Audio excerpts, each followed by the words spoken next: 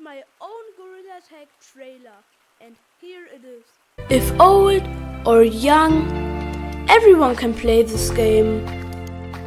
If you're playing try hard or casual, you can play this game too.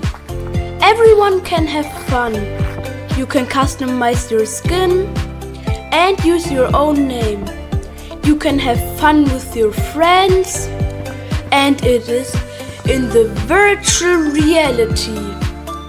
If you have your first footsteps in the game, others will help you and teach you how the game works. If you wanna be one of the very good players in the game, you need to move good in real life because the game is in virtual reality.